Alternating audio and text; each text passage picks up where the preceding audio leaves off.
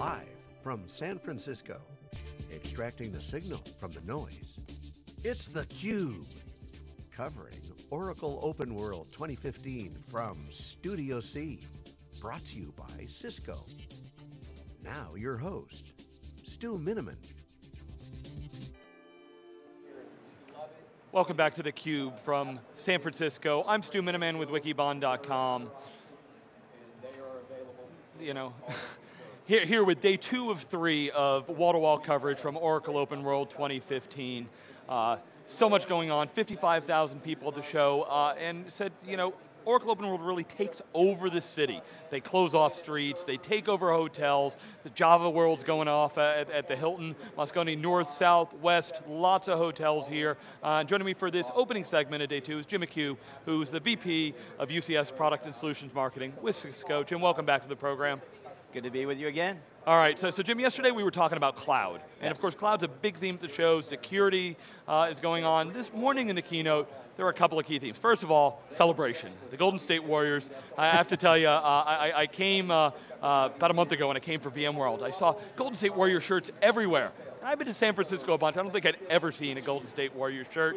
Uh, secondly, uh, they were talking about a lot of the emerging technologies. Uh, Wipro is on stage talking for half an hour, uh, talking about how, uh, you know, Internet of Things and those kind of uh, technologies going. And then uh, the third one is, is really kind of the, the rest of these emerging technologies. So yeah. talking about Hadoop as an application, talking about you know Docker and DevOps and you know all of these new pieces. So you know as you look out, you know Cisco obviously has a strong presence in the data center, you know, lots of uh, you know, virtualization and the like. You know, what, what does emerging tech mean to you? What are some of the key areas that you guys are focused out, I mean, looking actually, at the future?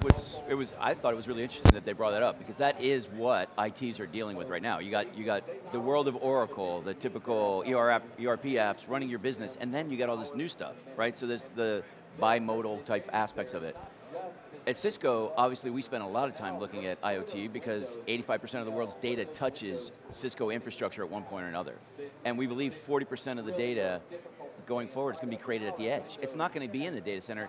In fact, a lot of data doesn't even need to get into a database. You're going to be able to analyze data, make decisions before it even has the opportunity to get to a database. Yeah, I think back a few years back, we had so much discussion of kind of unstructured data, you know, massive files and objects and what was going on there, and, it, and it's even more dispersed today. That we is. kind of talk about the, the future, the line I used uh, is, uh, the future is distributed and it's kind of here. Yeah. Uh, so, uh, you know, it, it, many people are still trying to get their arms around IoT. I know Cisco's also called it IOE, the Internet yep. of Everything.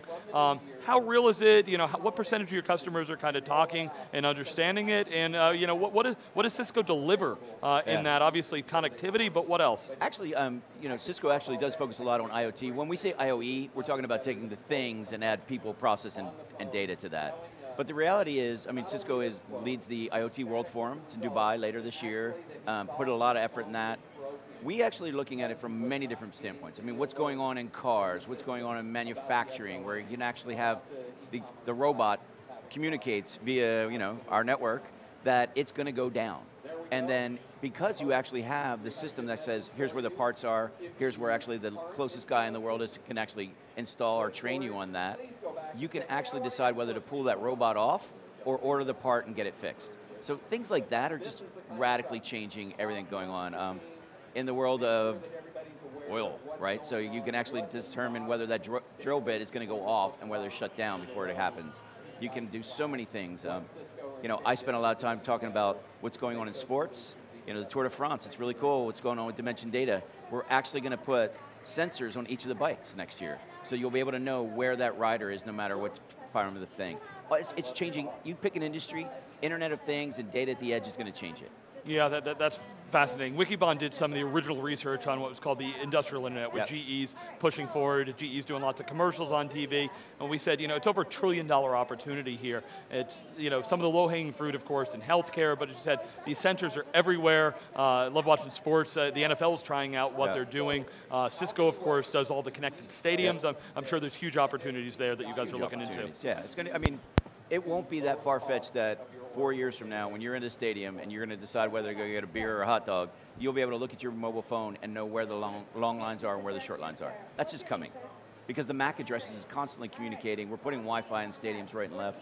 And everyone used to think Wi-Fi, that was just like, you know, check your Facebook, do all that kind of stuff.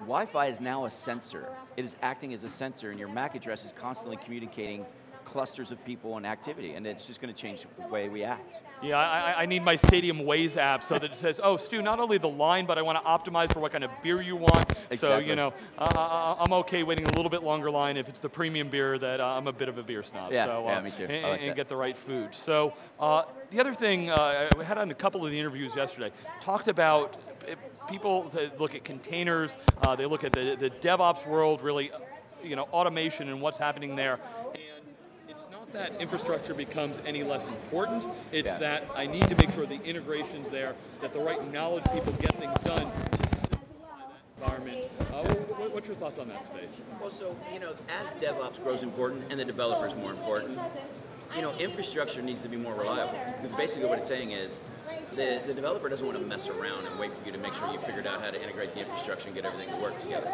So it becomes more important. And that's why some of the guests you'll be having on here today, what we're doing with IBM, what we're doing with Nimble, you know, some of the things when Intel comes in and talks about how the collaboration we're doing on infrastructure together, that becomes more important, but it's not in the foreground of the conversation anymore. It just required, needs to happen. I mean, we're sitting here, SanDisk has mentioned Cisco four or five times in their presentation as we're, we're sitting here. It's just because the reliability needs to be there. Then then let's focus on the needs of the developer. Let's focus on what DevOps really means. And I actually think a lot of people are still figuring that out. They, they, you know, the idea that we're giving the developer an area, a way of developing just in time, you know, get rid of the old waterfall approach to developing products. That's that's all here and live, but people are still figuring out how to give them what they need to get it more productive. Yeah. So uh, Jim, the Cube goes to a lot of shows, and Oracle, it's a big one, and it's an interesting ecosystem. You walk around the show floor, and there's such you know so many places that Oracle's applications touch that there's people that you're like, well, why are they here, and how do they partner? When you tell me what's your thoughts on kind of the state of Oracle's ecosystem, and give us a little insight as to some of the things we're going to dig into. Uh, uh, here, here, here this week on the team? Oracle, and I think Larry and Mark Hurd made it very clear. You know, despite what's going on cloud, despite all this new components going on, the number of customers that run Oracle databases and apps is just huge. I mean, Cisco is one of the largest Oracle customers in the world. And we run our business on it, and everything drives from that. So if you think about, we're going through big changes. We're becoming a digital company. We're going for new ways of doing it. But our back end, we're running on Oracle. And by the way, running on UCS, so we get the best performance out of it as well. All right. Do you see any changes happening? I mean, Oracle talks, you know, building all the way down to the silicon through the application. That red stack, uh, still a vibrant ecosystem in your mind, though.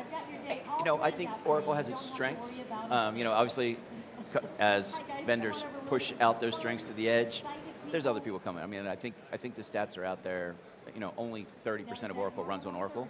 Most of it runs on, on people like Cisco and other companies. All right, well, Jim, thanks for helping kick off day two here with three days uh, from the Expo Hall, Moscone South here in San Francisco. I'm Stu Miniman.